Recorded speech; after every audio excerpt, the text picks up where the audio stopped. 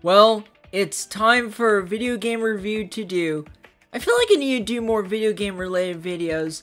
Thankfully I got one for this month, Splatoon 2. Yeah, I'm actually doing a review of that instead of the first one.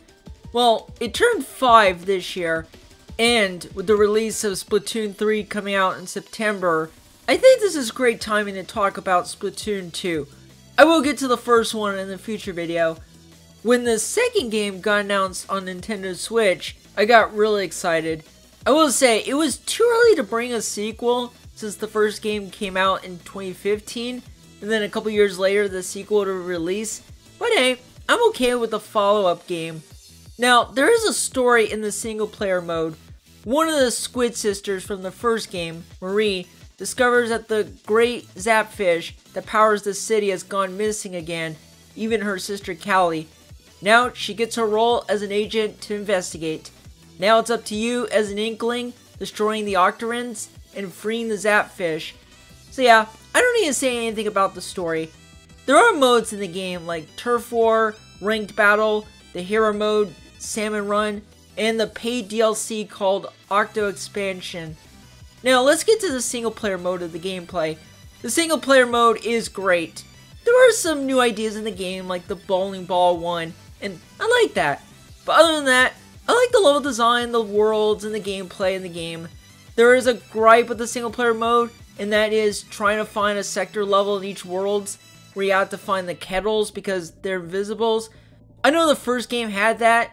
It would have been nice if the game had a world map.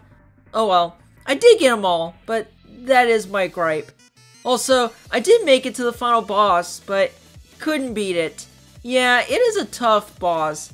So maybe one day I'll beat the final boss. In fact, I didn't even beat the final boss in the first Splatoon game. So now, let's move on to online. The online in the game is fantastic. Yes, it plays like the first game, but I still love Turf War to this day.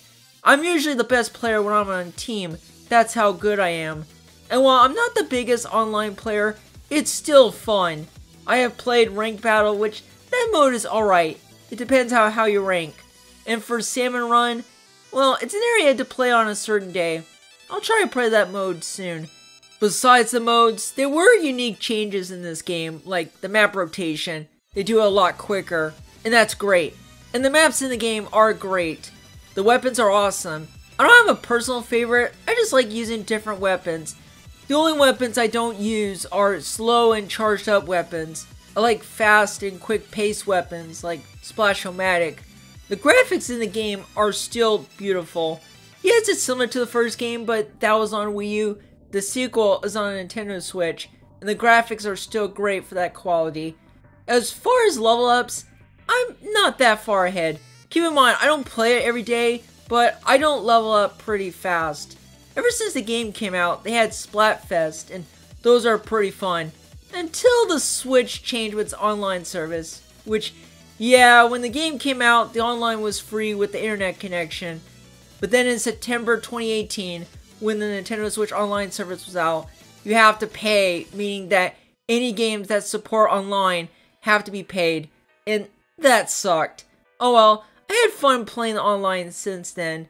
Speaking of paying, there is a downloadable content paid, and that is the Octo expansion. The pack came out in summer 2018, and to this day, I haven't gotten a pack yet, but I will play it someday. Now, before I wrap up the review, I want to mention about the popularity of the game. Ever since the first game came out, I wanted the game to be a new IP to sell great. And when the second game came out, it sold a lot more. And as of now, the game sold over 13 million units worldwide, selling twice as much as its predecessor. And I'm proud of Nintendo for Splatoon to become a franchise and selling great. All in all, Splatoon 2 is a great follow-up to the first game. It has some similarities, but there are some differences in the game more than meets the eye. That is all for my Splatoon 2.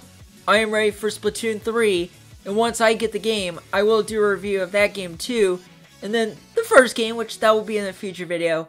I will see you guys, and wait a minute. My next new video is a milestone. Well, get ready for the hype. See you all then.